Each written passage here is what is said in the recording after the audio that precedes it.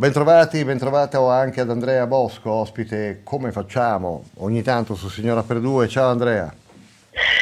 Ciao Massimo e buonasera agli ascoltatori. Allora vorrei mi facessi un sunto e soprattutto un'opinione su quanto sta accadendo alla Juve.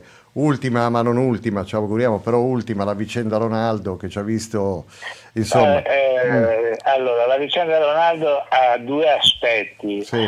Uno, voglio essere brutale, eh, se Cherubini e quell'altro non fossero stati dei cretini e fossero messi a parlare per telefono sì. non, non, sarebbero incorsi in questa situazione perché poi gli arbitri, mm. l'arbitrato, sono arbitri anche quelli, tre arbitri che eh, a, confer- a, conferma che gli arbitri ce l'hanno sempre con la Juventus sistematicamente, quelli di campo e quelli fuori dal campo, no? eh, eh, hanno messo la sanzione, sia pure di metà dell'importo, con 9 milioni e mezzo di euro, avvalendosi delle intercettazioni che la Procura di Torino nell'ambito dell'inchiesta Prisma non avrebbe potuto fare per incompatibilità territoriale, ma che ha fatto lo stesso avvalendosi addirittura dei Trojan. Quindi, siccome questo, ormai la giustizia italiana fa schifo, lo dico mm. aperti ma questo non vuol dire che la Juventus sia innocente e che non abbia fatto delle cose che magari non doveva fare. Mm. Dico che la giustizia italiana fa schifo perché fanno tutto quello che vogliono, poi la gente ne paga le conseguenze, giuste o sbagliate che siano, però eh, la giustizia italiana non segue le procedure, fa delle cose arbitrarie come, come è stato ampiamente dichiarato anche da eh, se tu leggi quel libro terribile di Palamara insieme con Sallusti, sì. ti spiegano come funziona la giustizia italiana. Arriviamo alla situazione campo, ormai la divisione fra Allegriani e Antelegriani è sempre più marcata, la Juventus gioca male, perché questa è la realtà, si fa il nome di Tiago Motta, insomma, quale idea hai tu in merito? Sarebbe il caso di cambiare? Io, io, eh, mm. allora, io, io ho l'idea che prima di prendere Tiago Motta ci dovrebbero pensare non una ma molte volte. Mm. Tiago Motta sta facendo un ottimo campionato col Bologna, che non è una, una società che ha aspettative di primato, no? mm. non è la Juventus. Si augura al Bologna di tornare ai fasti di quando vinse lo scudetto giocando uno splendido calcio con Bernardini, no? Bologna di Haller, Nielsen, Bulgarelli, mm. Fogli, insomma, questi qua. Eh, eh, però eh, oggettivamente eh, parliamo di pesci diversi rispetto a... Quindi, allora, Tiago Motta sta facendo bene, eh, da un paio di campionati, eccetera, è da Juventus, è l'allenatore giusto per la Juventus.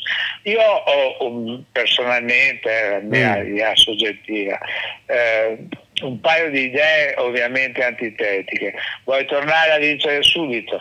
Ti prendi Conte, ecco. compri a Conte almeno tre giocatori, li compri Goresca visto che Rabiot se ne andrà, gli compri eh, Grisman considerato che Chiesa probabilmente se ne andrà, gli compri Ederson dall'Atalanta visto che un regista prima o dopo la Juventus lo dovrà pur prendere, no?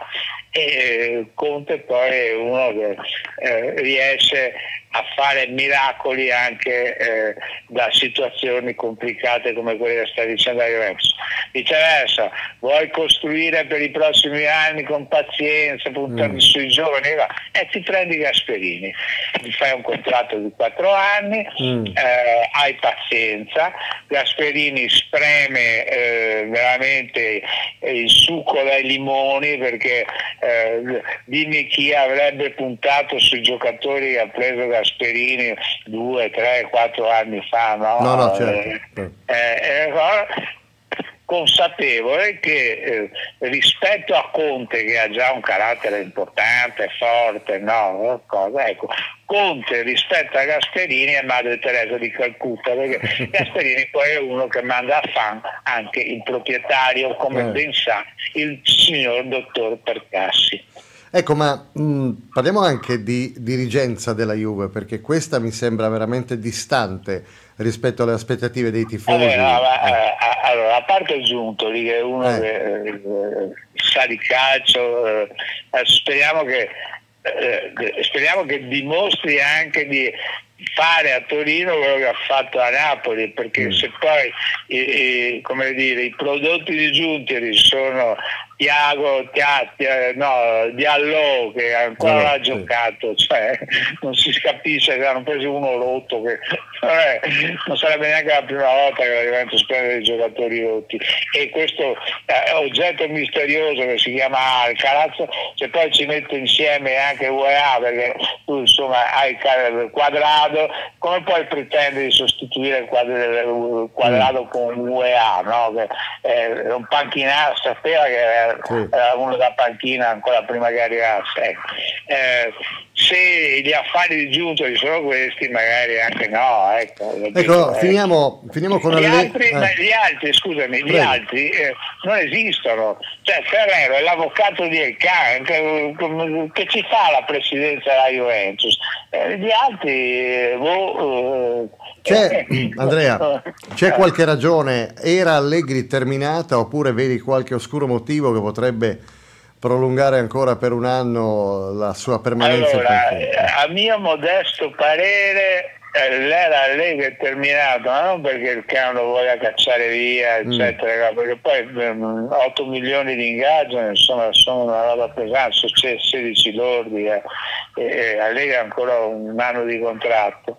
Secondo me se ne va perché lui non ha più in mano la squadra, ci sono mm. sei insofferenza non solo di Chiesa, anche di altri, che sono evidenti, tutti sanno che lui probabilmente se ne andrà a fine stagione, quindi eh, come dire, mandano giù a mano, ma che lui non abbia più in mano la squadra mi sembra evidente almeno da un mese. Insomma. Eh.